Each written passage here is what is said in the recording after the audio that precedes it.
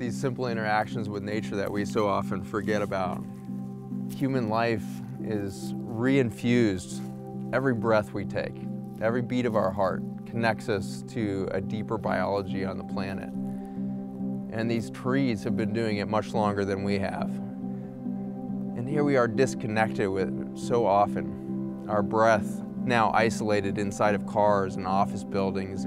We're missing this opportunity for re-engagement until we remember to breathe. In the breath of nature, we reconnect to this vast ecosystem that is evident around us, the, the, sheer diversity of plant life around us, the mosses that are contained on, on a tree trunk speak to something deeper, the, the bacteria and the fungi beneath the surface, not just of the bark, but of the soils that would produce such an extraordinary organism like a tree.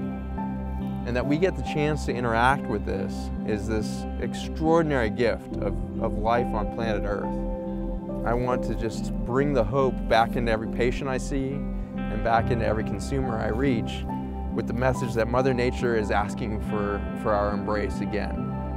Mother Nature is literally reaching out with her arms, ready for a deep hug, a deep, deep reconnection to who we are so that we can be, start to understand our species and our purpose within the context of this rich diversity around us rather than the isolation that we find ourselves in too often.